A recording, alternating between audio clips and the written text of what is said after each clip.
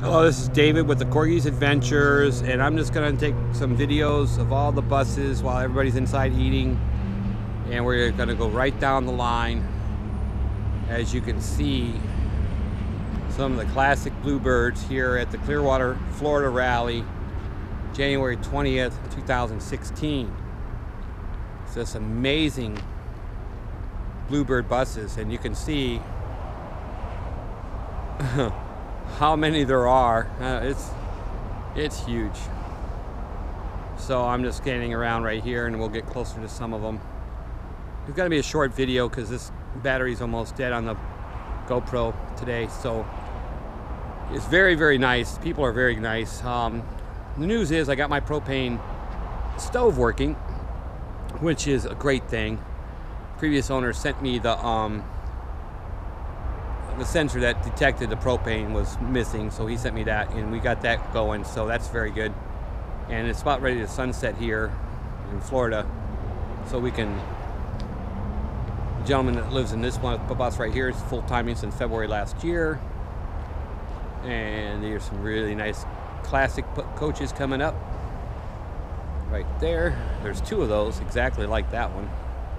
I don't know the years, but I'm just going to show you some pictures. Now this one, feet wet. This is an identical bus to mine, but it's a 40 footer and mine's a 36. It has exactly the same paint job. Well, except the front nose piece, of course.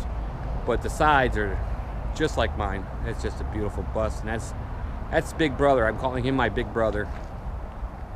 And then we're coming down here and you can see all the different buses you know, so this is a Clearwater Rally, you know, and um, I'm learning a lot from everybody. Everybody's been really nice. And one of the owners is walking back to his bus. He doesn't want to be videoed.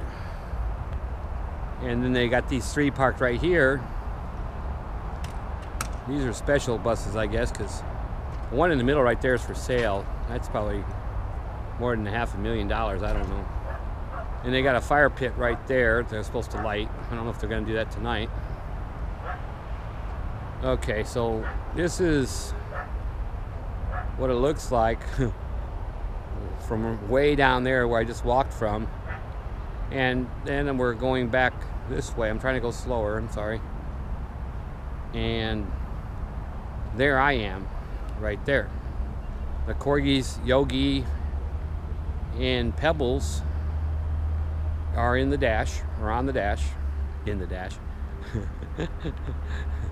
They're right there. And that other bus right down there is like, you know, it doesn't have the red on the front, but the side paint job's the same. And it's an 89, but it says it's a 90, but it was built in 89. So there's the Corgis. Yogi and Bambi. There's Yogi. There's Bambi. Boy, they messed up that windshield. I gotta clean that every five minutes. They got their nose all over it. And then there's more